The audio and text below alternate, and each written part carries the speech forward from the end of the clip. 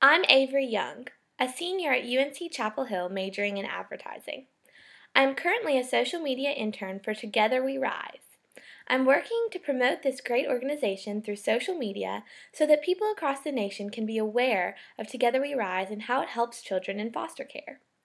Being an intern for Together We Rise is rewarding because it makes me feel like I'm a part of an organization that truly makes a difference in the lives of foster care children.